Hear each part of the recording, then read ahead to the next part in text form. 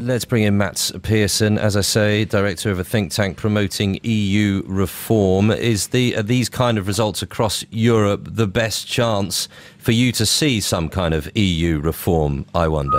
Well, I hope so. Uh, I hope it will be a wake up call uh, to politicians across Europe that um, if you offer this polarized choice, which Petros just uh, uh, basically gave expression for between more and more Europe or no Europe at all, um, then sooner or later uh, voters will probably opt for no Europe. And uh, but is there another way? I think there is. I think there is a, a middle ground between those two polarized, in some senses, extreme options. Um, uh, that, that sort of has the EU, the European Union, which people are concerned about. It's not the only thing that people vote against in European elections, but a certain element and part of it.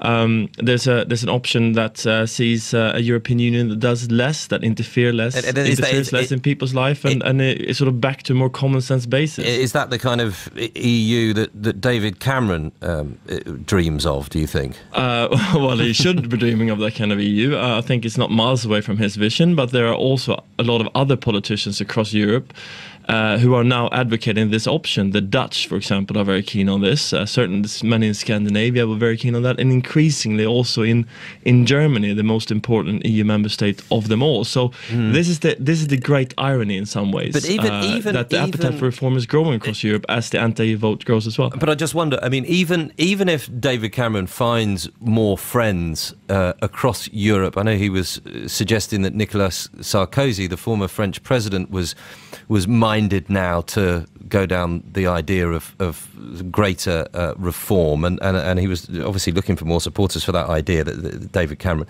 even if even if that were to happen. Uh, are those people who have already turned their back on the EU and, you know, clearly voting in this country for UKIP, for example, uh, would they turn around and say, do you know what, I, I'm not even going to listen to the argument? argument that, that we're getting a EU light, for example. I, I, I don't buy it and I don't trust it.